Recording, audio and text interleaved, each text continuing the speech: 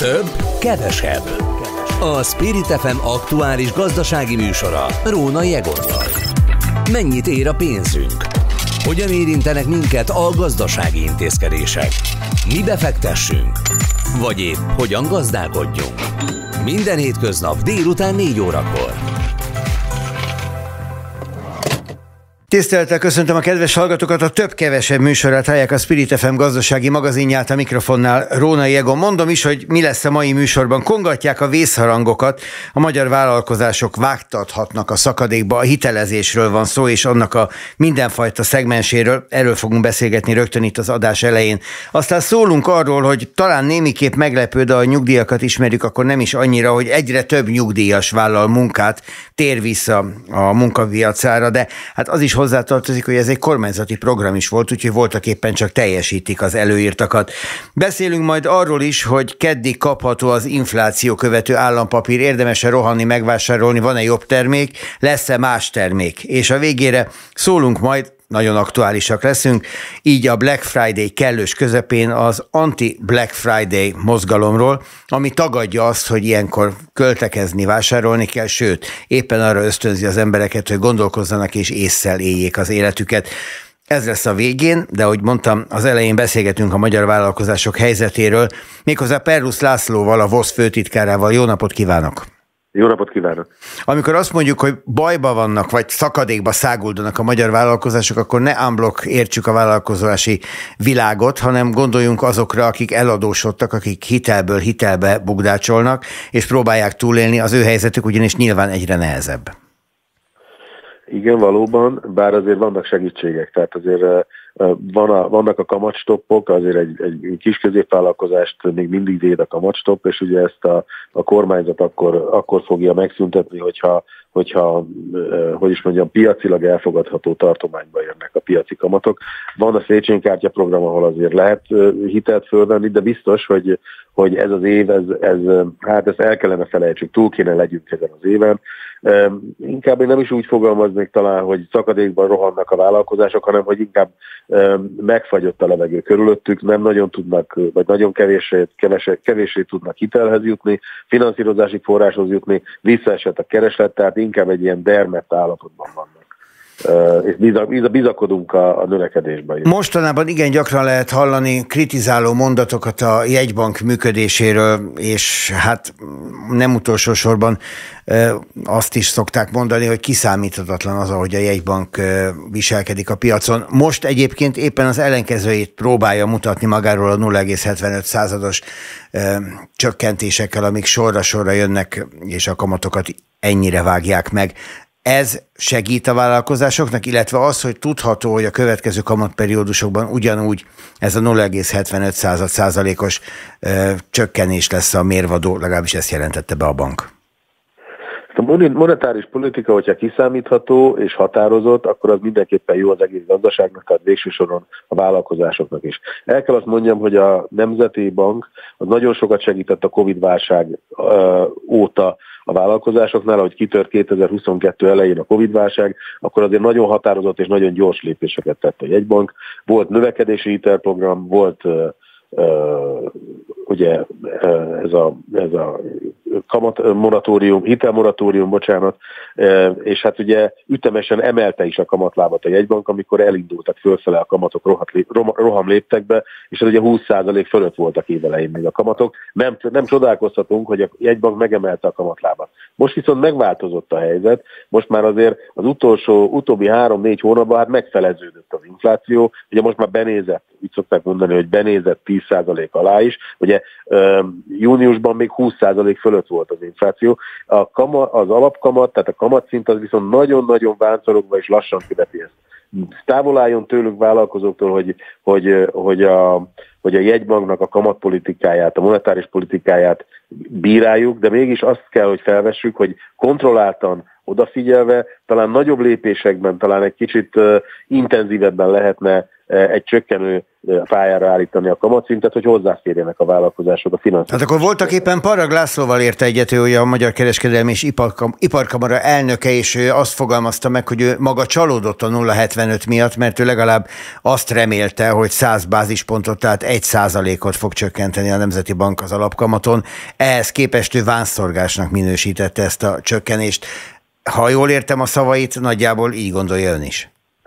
Én óvatosabban fogalmaznék, de természetesen, mivel ők is, a, a Magyar Kereskedelmi és Iparkamara is e, vállalkozói, érde, vállalkozói szervezet, a VOSZ pedig vállalkozó érdekképviselet, hát ugyanaz a merítés, tehát ugyanazokkal a vállalkozókkal beszélünk, és nem csoda az, hogy a vállalkozások panaszkodnak azon, hogy néhány kiemelt program, állami támogatott program, például a Széchenyi Kártya program, vagy Baros Gábor hitelprogram mellett nem nagyon lehet ugye ezek a két számjegyű vagy 20%-hoz tartó tendáló még mindig hitelek mellett nem nagyon lehet finanszírozási forráshoz jutni. Az azt jelenti, hogy nem tudnak beruházni, nincs pénz a beruházásra, sokan még a, a, a, a működésre sem tudják megszerezni a pénzüket. Ez azt jelenti, hogy, hogy, hogy, be, me, meg, hogy megszűnt, vagy nem megszüntetik a termelésüket, de legalábbis nem tudnak bővülni, és hát ebből fakad az, hogy, hogy a, hogy a gazdasági bővülés az, az, az inkább egy enyhe recesszióba fog érni. Nyilván erre rátesz egy lapáttal az állami kiadások visszafogása, a beruházások elmaradása, mert hogy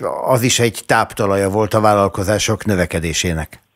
Pontosan. Az állami beruházások például az építőiparban nagyon, nagyon jelentős hatásúak, és az államnak is, ugye mivel csökken a kereslet, csökkennek a keresletre optimalizált adóbevételek is, ezért az államháztartásnak is megszorítania kell saját magán, és ezért elhalasztja a beruházásait. Az államháztartás is, ha felelősen viselkedik, ugyanúgy viselkedik, mint egy háztartás, vagy mint egy vállalkozás. Hogyha nincsen pénz, hogyha nincsen bővülési lehetőség, akkor elhalasztja, visszafogja a, a beruházásait. És ez, ez valóban egy ilyen csökkenő pályára, egy recessziós pályára helyezte ebben az évben a gazdaságot, és mi azt mondjuk, hogy ezt mindenképpen el kéne kerülni, hogy ez fennmaradjon, mert erről a csökkenő pályáról tényleg egy növekedő, egy enyhén növekedő pályára kellene visszaállni jövőre.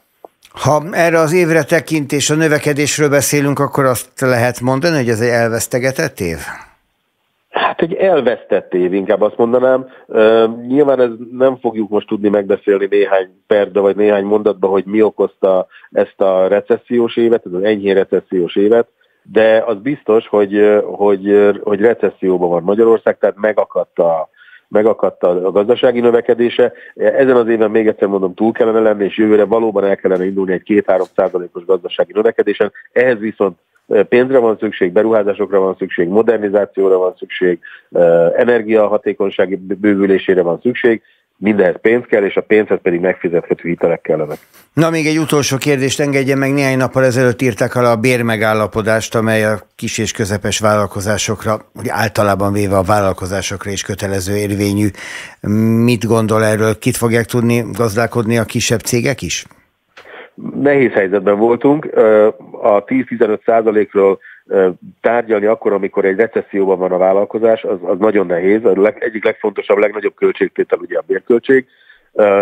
Ettől függetlenül azt éreztük, hogy a legkisebb keresetőeknek nem lehet, nem szabad elengedni a kezét, azért egy 14 és 16 százalékra okos volt az idei évben ugye a garantált bérminimum és a minimálbér növekedés. Ez ugye a várhatóan 17,5 százalék körüli inflációtól elmarad, tehát egy némi, a legkisebb keresetőeknél egy érzékeny reál, reálbércsökkenésnek néztünk elébe, valamilyen módon szeretünk volna kompenzációt, nem jött össze az első javaslatunk, ami egy 100 forintos adó és járulékmentes juttatási lehetőséget opcionálisan kínált volna a legkisebb keresetőeknek, és hát fogunkat összefog, összeszorítva és fogcsikorgatva belementünk a 10 és 15 százalékba, és ráadásul a december 1 előrehozásba. Ebben minden van az az optimizmusunk, óvatos optimizmus, még egyszer mondom, hogy a jövő év már jobb lesz, ezen legyünk túl, ne engedjük el a munkavállalóinknak a kezét a legkisebb keresetőeknek sem, sokkal nehezebb megszerezni egy jó munkavállalót, mint megtartani.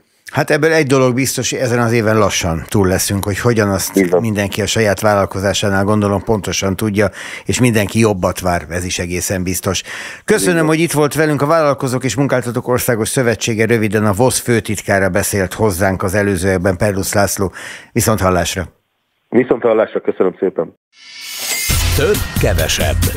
A Spirit FM aktuális gazdasági műsora. Rónai Egonnal.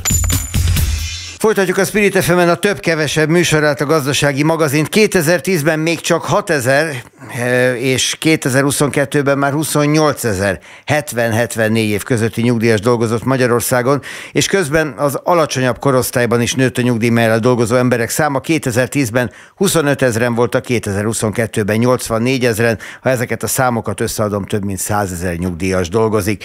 Egyébként ez a kormány szándéka is volt, hiszen volt egy olyan terv, még Kósa Lajos volt ennek a patronusa egy-két évvel ezelőtt, hogy a nyugdíjasokat igenis hozzuk vissza a munkaerőpiacra. Itt van a vonalban Karácsony Mihály, a nyugdíjas parlament elnöke. Jó napot kívánok!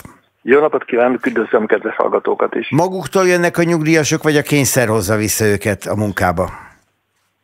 Hát először tradicionálisan a nyugdíjasok 60 éve, amióta vannak adataink, körülbelül a nyugdíjasok 20%-a dolgozik eh, a nyugdíja mellett. Nekem az utolsó adat az 1963-as, amikor Cseszombati László, akkor a híres ö, ö, szociológus, ő már akkor leírta, hogy a nyugdíjak körülbelül egyötöde, a nyugdíjasok egyötöde vállal munkát a nyugdíja mellett. Ez az arány nagyjából a 20 százalék, azóta is folyamatosan megtalálható, és ma is körülbelül 20 százaléka dolgozik a nyugdíjasoknak a, a nyugdíja mellett. Hogy friss adatot kapjak, én közérdek adatigényléssel megkérdeztem a NAV-tól, hogy hány 65 éven felülinek keletkezett személyi jövedelemadó kötelezettsége az elmúlt évben és ők akkor megadták, hogy 208 ezer 6 208,6 fő olyan tevékenységet végez, végzett, amely keletkezhetett személyi jövedelemadó bevallás. Tehát akkor gondolom 208.600, de, de akkor ez a szám, amiről én az előbb beszéltem, és amit egyébként a népszava Igen. közölt, és aztán vette hát. át lényegét tekintve az egész magyar sajtó, ez a szám akkor mire utal? Mi ez a plusz 100 ezer? Fogalmam sincs, mert ugye ma most, hogy beszélgetésre készültem, megnéztem a KSH-nak az adatsorát, ami a gazdasági aktívak korcsoport szerinti bontást hozza, és azt látom, hogy a 65 és 69 év között a korcsoportnak a 17, 14,1%-a ma is gazdaságilag aktív, és a 70 és 74 között pedig 6,7%-a, tehát ez is 20 százalék, tehát ugyanott tartunk, mint 60 évvel ezelőtt. Elnök úr, akkor kérdezek mást. Ez külföldön hogy van mondjuk Nyugat-Európában a nyugdíjasok mennyi százaléka és milyen korosztályban hány százalék dolgozik? Nagyjából ugyanez az arány, és ugye most végig mi is, amikor beszélünk, adatokat mondunk, még csak a legális munkáról beszélünk, ami bejelentett munka, miközben mi azt állítjuk, és ez a Nézőpont Intézetnek volt is erre egy kutatása, hogy a 65 éven felülieknek milyen plusz munkával járulnak hozzá a gazdasági teljesítményhez. És utána ők idevették a, a nem fizetett háztartási munkát, a gondozói munkát, és az egyéb önkéntes munkát, és ezeket is, ha hozzárakjuk, akkor nyugton állíthatjuk, hogy igen, körülbelül 20-25 százaléka dolgozik az embereknek ma is, legálisan. Tehát akkor mondhatjuk, Tehát, hogy ebben voltak éppen semmi különös nincs. Ez így volt, különös. így van, és valószínűleg így, van. így is lesz. Akkor igen, beszéljünk igen. másról. Én kipipálom ezt a témát. Viszont itt van 2025. március 31-e. Azt adta az Európai Unió a megállapodás értelmében a magyar kormány számára egy új nyugdíjrendszer megalkotásának igen. határidejévé. Igen. Na most, hát ez nem tudom, hogy áll de sokat nem hallunk arról, hogy sokat haladna előre. Tehát nyilván, hogyha ez valamerre menne, akkor ez rendszeres téma lenne. Egyelőre a terveknek megfelelően halad, azaz a, abban a dokumentumban, mi ezt lerögzítették, abban azt mondták, hogy ez év végéig nemzetközi szakértők világítsák át a magyar nyugdíjrendszert, és tegyenek javaslatot. Na most mi többször érdeklődtünk a PM-nél, hogy hogy áll, azt mondták, hogy igen, meg lesz, dolgoznak rajta, ez év végéig egy nemzetközi szakértők által összeállított javaslatot fogunk megismerni. Egyelőre világítanak ezek szerint. Most világítanak, de nagyon jó hír az, hogy abban a megállapodásban az is benne van, hogy ezt követően az érintettek bevonásával kell a javaslatot elkészíteni, mert ez garancia arra, hogy itt ö, ö, nagy nagyon kedvező fogadtatása lesz a, a új nyugdíjtörvény. Ugye az Európai Unió nagyobb igazságosságot remél és vár el a magyar Igen. nyugdíjtörvénytől, a különbségek csökkenését, a legkisebb nyugdíjak felemelését magasabbra, Igen. a legnagyobb nyugdíjak megvagdosását, hogyha ez az ára annak, hogy a nyugdíjrendszer kicsit egységesebb Igen. legyen. Elképzelhetőnek találja, hogy a magas nyugdíjakat csökkentsék? Mert én ezt egyébként Igen. nem, tehát ez egy járandóság. Igen, igen, hát igen, ezek azok a szavak, amelyeket majd pontosítani kell, mert miféle járandóság az, amikor ma, ma már, amit kifizetnek nyugdíjat, annak körülbelül a fele az az adóágon folyik be a költségvetésre. És körülbelül a másik fele folyik csak be járulék révén. És az Alkotmánybíróság is többször kimondta, egyrészt, hogy a befizetéseknek és a kifizetések között nem kell közvetlen megfeleltetést tenni, hatályos alkotmánybírósági döntések vannak. Valóban, ahogy ön is elmondta, a kiegyenlítődés, a kisimítás felé kell menni, mondta az Európai Unió, és valóban, e, ha azt, az a alaptörvény azt mondja, hogy a tisztességes megélhetéshez biztosítani kell a társadalmi biztosításnak a, a idősek számára. Na most a, a tisztességes megélhetést pedig hát ugye lehet eh, definiálgatni, de az azért biztos, hogy eh, mi szerintünk százezernél nem lehet kevesebb, és a megélhetéshez az 500 körül szerintünk a plafon van, és akkor itt lesz majd az, hogy eh, amit az Európa majdnem minden országában van, és ezt a szakértők ezzel egyetértenek, hogy három lábú nyugdíjrendszer legyen. Legyen egy, ami úgynevezett közkiadásból származik, költségvetésből. Ez az, amit én nagyjából mondtam, 100 és 500 ezer forint között szerintünk. A második lába, hát itt nehéz lesz az a kormánynak, mert ez a bizonyos magánnyugdíj, amit most már foglalkoztatói nyugdíjnak, vagy, vagy munkanyugdíjnak neveznek, amit hát a munkaadók... szépen zsebre vágták. Igen, igen, hát azt most, most hogy fogja előhozni a kormány, ezt nem tudom de ez, ezt, ezt nyilván a nemzetközi szakértők javasolni fogják, mi ezt támogatjuk, csak mi nem akarjuk érvelni emellett, mert még emlékezünk, hogy hogyan nyúlta le ezt a kormány, és a harmadik láb pedig a, az, a piaci termékként az önkéntesek még annyit raknak félre, amit akarnak. Azt előbb Tehát... mondott egy fél mondatot, ott hadakadjak meg, miért nem akarnak érvelni a magányugdíjpénztár mellett? Attól, mert a kormány hát... lenyúlta, attól az még egy legitim eszköz. Legfeljebb, legitim hogy úgy mondjam, de... ellopták. Hát most a jogilag ugye az Alkotmánybíróság azt úgy fogalmazta, hogy visszaterelték az állami nyugdíjba.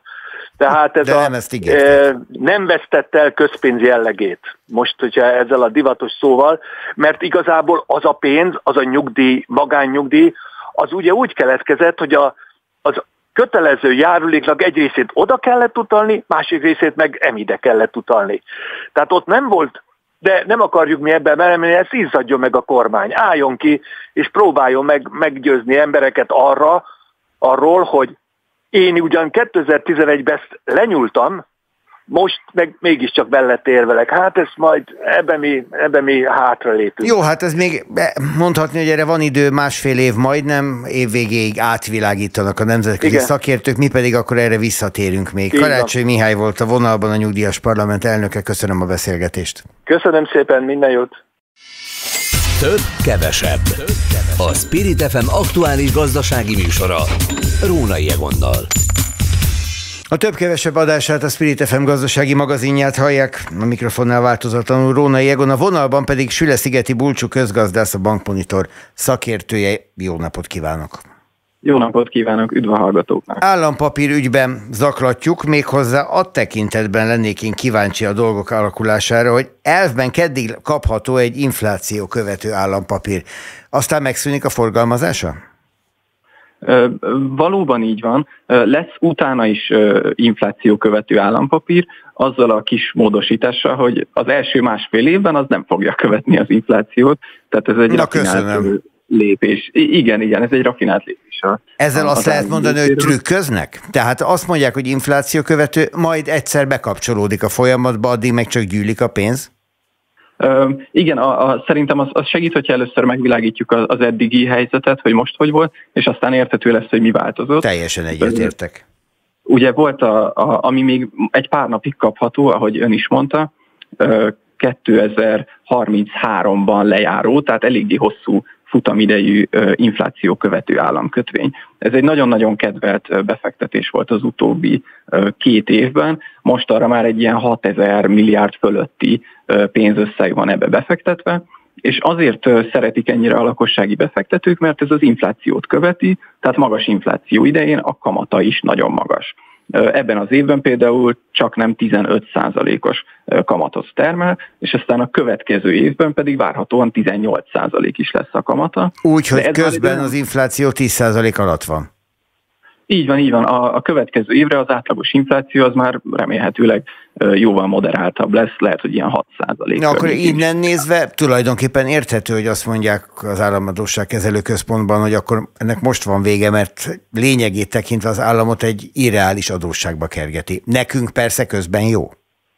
Igen, itt az a kérdés, hogy milyen szemüveggen nézzük ezt, mert ugye mindannyian adófizető állampolgárok is vagyunk, nem csak megtakarítók, illetve befektetők. És a befektetők természetesen most szomorkodnak, hiszen megszűnik a, a, az, az a nagyon magas elérhető kamat, tehát ez a 18 százalék, amit, amit jövő évre lehet várni, ez már nem lesz elérhető az új állampapírra, ez csak a régi állampapírokra vonatkozik. Viszont legyen ez egy felszólítás, keddig még meg lehet vásárolni. Ezt a régit. Uh, igen, hát ha felszólítás nem is, de így tájékoztatásként elmondhatjuk, hogy, hogy november 28-a az utolsó nap, amíg még a régiből be lehet vásárolni, és a következő, az, az új ö, állampapír, az az első másfél évben fix kamatot fog fizetni, mindössze 9,9%-ot, tehát az államadóság kezelő központ közel a felére tudta csökkenteni az új papírokon a saját kamatfizetési kötelezettségét, azért ez az adófizetőknek jó hír, tehát ugye borzasztó nagy kamatkiadás terheli már így is a, a magyar államkasszát. Ha most csak ezt a 6600 milliárdos állományt elképzeljük így az infláció követő állampapír esetében, ennek ha, ha egy ilyen 18%-os kamatot feltételezünk, az egy ilyen 1200 milliárd forintos nagyságrendű éves kiadás, csak kamatfizetése. Tehát ez bődületes összeg, és teljesen érthető, hogy szeretnék mérsékelni ezt a kiadást. Na nézzük akkor, hogy mi jön utána. Azt hiszem, hogy az ilyet hívják hibridnek, ugye, hogy van egy fix kamatozású része, és aztán lesz egy infláció követő kamatozású része. Amikor majd inflációt követ, meg 9,9-el a mostani rögzítésével indul, akkor mennyit tesz rá az adott napi inflációra, vagy évi inflációra? Igen, igen. Az éves, mindig az éves átlagos inflációt veszik majd alapul. Ugye 2025 áprilisig van a fix kamatozás, és 25 áprilistól kezdődően pedig fél százalékpontot tesznek majd rá az előző naptári év, tehát a 2024-es évnek az átlagos inflációjára. Tehát ha mondjuk elképzeljük, hogy 6 százalék lesz a 2024-es éves átlagos infláció, akkor 6,5 százalék lesz a következő kamata ennek az új állampapírnak. Persze, de sopánkodjunk olyan nagyon, mert most belegondolok abba, hogy 9,9-en indul jó. Mondjuk azt, hogy ez ma ennyi. Egyébként valószínűleg valamivel alacsonyabb, hogyha elfogadjuk, hogy egy hónappal ezelőtt is már 9,9 volt. De induljunk ki abból, hogy ez ma ennyi. Az a konszenzus az elemzők között, hogy ez jövőre valahol 6-7 százalék körül lesz, tehát e fölött is jóval fog fizetni ez a papír, tehát nem lesz ez annyira rossz üzlet jövőre sem. Igen, továbbra is beszélhetünk reál hozam lehetőségéről, csak már valamennyire csökkent az elérhető Hát nem ilyen eszelős méretű, mint ez a mostani. Így van, így van, így van. Úgyhogy, úgyhogy nem, nem lesz rossz üzlet, az, ezt semmiképpen nem mondhatjuk, de lényegesen kedvezőtlenebb lesz a helyzet, mint a régebbi állampapírok esetében. Az, hogy ezt hogyan váltja vissza ezeket a papírokat az adósságkezelő központ, az mennyire törvényileg rögzített, és mennyire dönt maga a központ arról, hogy hogyan, milyen időpontban, mikor vált vissza papírokat? Na, na ez egy nagyon-nagyon fontos kérdés, és, és jó, jó, hogy ezt tudjuk tisztázni. Ugye ezek eredendően igen hosszú futamidejű állampapírok. 2032-ben járnak le, vagy 33-ban járnak le, tehát ezek ilyen csak nem 10 éves futamidejűek, vagy mondjuk 9 év körüli futamidejűek. Viszont az államkincstár, hát van annyira jó fej, ha mondhatom ezt így, hogy hajlandó korábban is visszaadni a, befektetést, de ennek van, van némi költsége, ilyenkor kvázi egy ilyen büntetés levonnak, ami mostani gyakorlat szerint egy százalékos mértékű, de ez nincs kőbevésve egyáltalán, tehát volt már korábban 2 százalék is a büntetés, ezt önkényesen meghatározhatja a, a kincstár, de egyébként, ha figyeljük a hivatalos kommunikációt, mind az Államadosságkezelő Központ vezérigazgatója, mind a gazdaságfejlesztési miniszter egyértelműen azt mondta, hogy nem tervezik változtatni ezt az 1%-os levonást, úgyhogy a jó hiszemű megtakarítók nagyjából ezzel kalkulálhatnak, hogyha idő előtt kivennék a befektetésüket ezekből a, a hosszú futamidejű államkötvényekből, akkor egy százalék büntetést a, a tőkéjükből levonnak. Viszont ami jó hír, hogy az időközben megszolgált kamatokat, azt természetesen megkapják és zsebre tehetik, tehát a kamat, kamatból nem veszítenek. Nem lesz ez se így, se úgy rossz üzlet, maradjunk talán ebben. Süle Szigeti Bulcsú közgazdász volt itt a vonalban, a Bankmonitor szakértője, köszönöm a tájékoztatást. Én is köszönöm. Több, kevesebb. A Spirit FM aktuális gazdasági műsora. Rónai Egonnal. Black Friday, hát itt most péntek délután azt gondolom, hogy van, aki biztosan azt ajánlja, hogy valami remek vásárlási tippel álljon elő egy gazdasági magazin. Mi meg arról beszélgetünk majd a következő percekben, hogy miért ne ma vásároljanak. Szeres András kommunikációs vezető van itt a vonalban a Greenpeace képviseletében. Jó napot kívánok! Jó napot kívánok, üdvözlök mindenkit! Abban az őrületben, ami hogyha felmegy az ember az internet bármely szegmensére, pontjára elárasztja a mai napon, és hát most már egyébként napok óta, abban az őrületben mennyire vékony az a hang, amelyik arról szól, hogy ne, ne nem kell mindent megvenni, és egyáltalán nem kötelező minden akciónak beugrani? Nincsen olyan nagyon sok olyan szereplő sajnos, aki ezt hangoztatja, ezért is tartjuk mi kifejezetten fontosnak, hogy évről évre felhívjuk a figyelmet arra, hogy milyen mértéktelen az a túlfogyasztás, aminek pont az ünnepe a Black Friday, és mi arra buzdítunk mindenkit, hogy ne vásároljon meg valamit csak azért, mert akciós, hogyha valójában nincs erre szüksége ezen a napon sem. Ugye nehéz ellenállni a kísértésnek, ez nem kérdéses, mert hogy egyrészt valami egészen elképesztő kampány zajlik a Black Friday körül, másrészt az ember nem akar lemaradni, van egy ilyen őrület is a világban, hogyha a másiknak van már egy új, akkor én azzal a régivel hát elég furcsán nézek ki. Van egy cég, amelyik Magyarországon példát mutat, és akkor most ez nem reklám, bár tulajdonképpen a maga módján meg ez is az, amelyik a Mountex nevezetű cég, túraáruház voltak éppen, és ők például bezárnak a Black Friday alkalmából, találtak két arcot a kampányhoz Szabó Győzőt és Döbrösi Laurát. Szabó Győzőről én nem tudtam, de Döbrösi Lauráról lehet tudni, hogy ő elkötelezett környezetvédő. Ez az egész a ne vásárolj, és ne vásárolj feltétlenül a Black Friday-on, ez egy környezetvédelmi program? Annak is tekinthető, abból a szempontból is, hogy rengeteg hulladék keletkezik nyilvánvalóan ezeknek a termékeknek a megvásárlásakor, akár csak a csomagolóanyag, rengeteg mikroműanyag és műanyag szemét keletkezik. Azon kívül, hogy nem vásárol az ember, azt is érdemes figyelembe venni, hogy az is egy út lehet, hogy a már meglévő dolgait javítja meg, adott esetben ruhákat felesleges feltétlenül újat vásárolni, hogyha még meg lehet varni, vagy varratni. Bármilyen használati eszközzel ugyanez igaz, rengeteg lehetőség van ma más szerencsére arra, hogy elromló technikai cuccokat, cuccokba újra életet lehelhessenek az emberek, szóval mi arra is búzítunk a, a nem vásárláson felül, hogy, hogy mindenki gondolja át kétszer, hogy valóban szükség van egy új dologra, vagy még egy, egy régi meghibásodó dolog újra használhatóvá tehető. Mennyire fogyasztjuk túl a világot? Ugye minden évben van egy közlés, amelyik a dátumot szokta meghatározni, hogy eddig tartott ez az évünk, innentől kezdve már a jövőt emésztjük. Ez most hol tart? Igen, ez évről évre sajnos egyre hamarabb következik be.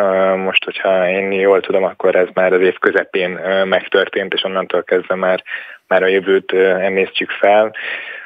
Úgyhogy sajnos éljük fel a, a bolygó tartalékait, amelyek egyre nyilvánvalóban nem, nem végtelenek, ezeknek a végességének egyre több jele van, csak sajnos ezt még nem annyira vesszük észre.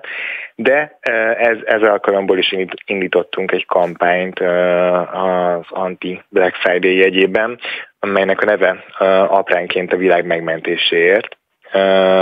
És ennek a kampánynak az a lényege, hogy aki fel ellátogat a honlapunkra, és kiválaszt egy föld darabkát, azt tetszés szerint elnevezheti, és örökbe is fogadhatja, ezzel pedig az örökbefogadó a, a Greenpeace munkáját támogathatja adományával. ne legyen, hazavinni nem lehet, tehát elhordani a földet ilyen nem, módon nem, nem lehet. Nem, azonban egy, egy nagyon szép virtuális oklevelet lehet kapni, amely tökéletes ajándék is lehet a közelgő ünnepek alkalmából. Ez voltak éppen ugye egy karácsonyi kampány, de hát ez a karácsonyi őrület is a Black Friday-jel kezdődik. Ön például meg a családja ezt hogy tudja kiküszöbölni, hogy ússza meg? Mi igyekszünk élményeket adni egymásnak, illetve, illetve együtt töltött időt adni egymásnak, ami, ami szintén elég nagy érték, de hát nyilván azért nem szeretnék elszent lenni, mi is vásárolunk, de arra tökre érdemes odafigyelni ilyenkor, hogy mit vásárol az ember, mennyi hulladékot termel, becsomagolja akár mondjuk fölöslegesen csomagolópapírban már meglévő ajándékot csak azért, mert erre szocializálódott és ezt tanulta lehet, hogy ezeket a dolgokat érdemes újra gondolni például. Van még annyi időnk, hogy egy másik lendületet adjak a beszélgetésnek azzal, hogy felvettem, egy csomó cég abban tetszelek, hogy ő mennyire környezetbarát, mennyire környezetvédően termel, mennyire környezetbarát módon gyárt. Hogyha az ő termékét veszem, akkor nem ártok a földnek. Mennyi ebben a kamu? A greenwashing az egy eléggé jellemző tendenciája manapság sajnos a, a cégeknek. Nagyon sokan magukra rakják ezt a, ezt a plecsnit, és ez sok esetben vonzóvá is tudja tenni az ő termékeiket. Érdemes ennek mindig legalább kétszer utána nézni, hogy, hogy ez... Na de hogy tudok utána nézni? Hát bemegyek egy boltba, mert azt mondták nekem, hogy ez olyan. Hát én ott nem fogok több információhoz jutni, mint amit korábban tudtam. Igen, sokszor, sokszor segít egy Google keresés, de sokszor, sokszor sajnos csak arra hagyatkoztatunk, hogy elhiszük-e ezt az adott állítást, vagy sem. Ezt nem ellenőrzi senki? Tehát arra nincsen apparátusa bárkinek a világon, most nem keresek hozzá szervezetet, hogy ha valamely cég azt állítja magáról, hogy hát ő végtelenül környezetvédő és barát, akkor azt ellenőrizzék? Nagyon sok esetben ezek, ezek a, az úgymond valótlanságok ezek kiderülnek, de én nem tudok arról sajnos, hogy lenne egy ilyen objektív hatóság, aki ezeket az állításokat tudja ellenőrizni. Nehéz ezt, ezt egyébként objektív, objektívvá is tenni, hiszen sok lehet úgy csűrni, csavarni a, a dolgot a cégek szemszögéből, hogy akár még igaznak is hathasson egy ilyen állítás mindenkinek tényleg a saját megérzéseire és, és tudására is érdemes ezekben a dolgokban támasztani. Jó, hát itt nyilvánvalóan sokan mondanak többet magukról, mint ami a valóság, de ennek ellenére, ha mi tudatosak vagyunk, akkor talán a mi figyelmünk is élénkebb és jobban oda tudunk nézni arra, hogy becsapnak-e minket vagy sem. Minden esetre köszönöm, hogy hírt adott az akcióról, hogy beszéltünk az anti-Black Friday-ról, és hát, hogyha valaki ennek ellenére is úgy gondolja, akkor azt javaslom, hogy lévén ez egy gazdasági magazin, hogy nézze meg, hogy több vagy kevesebb valóban az a termék, amit ma látszólag olyan olcsón árulnak. Szeles András, a Greenpeace kommunikációs vezetője, önnek köszönöm szépen a beszélgetést. A kedves hallgatóknak pedig köszönöm a figyelmet, szép napot, jó hétvégét kívánok, és hétfőn remélem ismét találkozunk ugye ebben az időben. A szerkesztő Hazafi Zsolt, én Rónai Egon vagyok, viszont hallásra.